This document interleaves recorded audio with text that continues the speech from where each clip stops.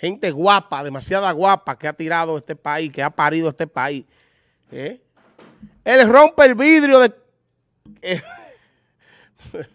ponen unos títulos fuertes aquí. Él rompe vidrio de la capital. Vamos a ver ese video.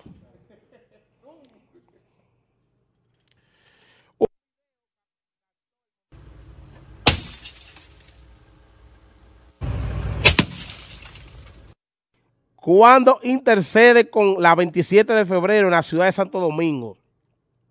Hasta el momento no se conocen las razones que provocaron ese hecho. Versiones señalan que es un nuevo conflicto con los vehículos de concho. La Dirección General de Seguridad y Tránsito Transporte Terrestre informó que envió el video al departamento correspondiente con el propósito de tomar medidas de lugar. Señores, ese es un león, mire, pa y vengo aquí, ¡pa! Si esa persona hubiese tenido un arma de fuego, ¿qué usted cree que puede pasar ahí? Pam, pam, pim. ¿Eh? Un herido o un muerto, porque esa ira que él tiene no es de, de, de buena cosa, como dicen. Hay que averiguar también, porque solo se ve ese video. Hay que averiguar qué fue lo que le pasó al caballero para que tomara esa decisión de esa manera. Eh, no, no, y tiene, y que buscar, eh, las autoridades, el Ministerio Público, tienen que buscar a ese hombre para que diga qué fue lo que pasó, para que lo investiguen. Esa acción en plena calle a la luz del día, esa violencia tiene que acabarse aquí. ¿Eh?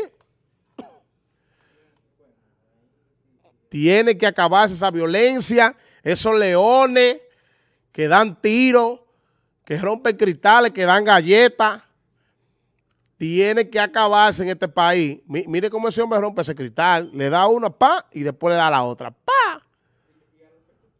Y ya lo que tú quieras, que yo soy yo, que yo es un toro. Eh, debemos, debemos coger cabeza, señores. Guapo es guapo hasta que el pendejo quiera, dice un refrán. Pero hay que ver, porque no podemos hablar sin saber, hay que ver qué fue lo que lo llevó a esa situación, al caballero también, porque solo vemos la parte donde él rompe el cristal.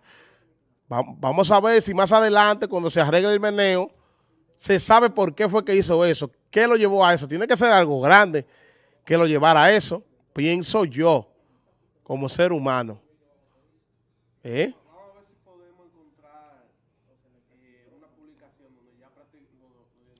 lo identificaron, sí, yo vi una foto de... de...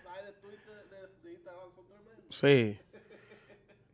No, no, Instagram tiene unos usuarios que son FBI de todo y de la CIA que, investigan a la gente. Ya sacan una foto de caballero. Vamos a ver cuando lo aprecen qué es lo que va a suceder.